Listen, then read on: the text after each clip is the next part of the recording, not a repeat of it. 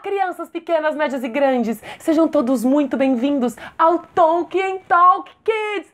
Uhul!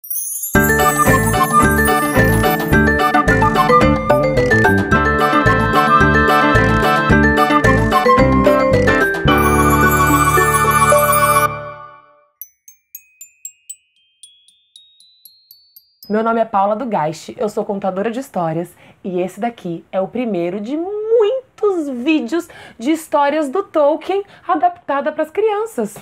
Pois é, eu não sei se vocês sabem, mas várias histórias que o Tolkien escreveu eram histórias que ele contava para os seus filhos. Então, né?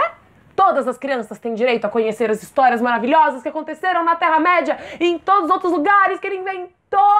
E pra gente começar esse quadro aqui no Tolkien Talk em grande estilo, eu vou contar para vocês a história que mora dentro desse livro aqui.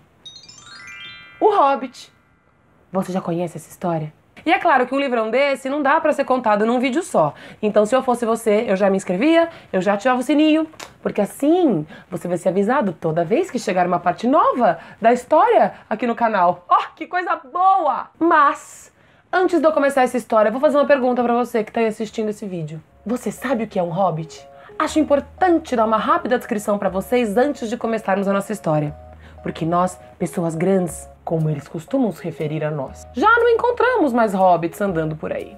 Eles eram um povo pequeno, tinham quase a metade da nossa altura.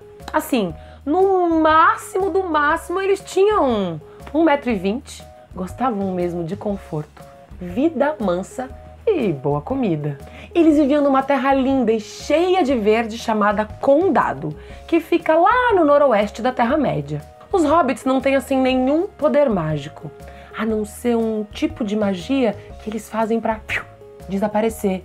Quando pessoas grandes e estúpidas como você e eu aparecem com esse nosso jeitinho desengonçado, barulhento, que eles conseguem ouvir a milhas e milhas de distância.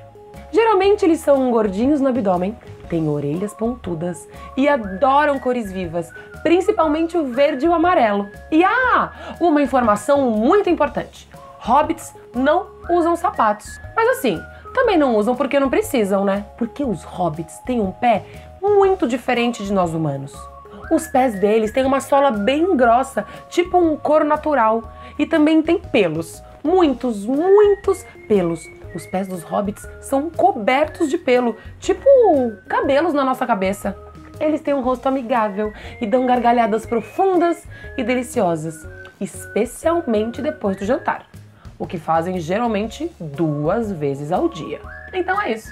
Agora que vocês já sabem o suficiente, eu posso começar a contar essa história, que vai pro ar amanhã aqui no Tolkien Talk.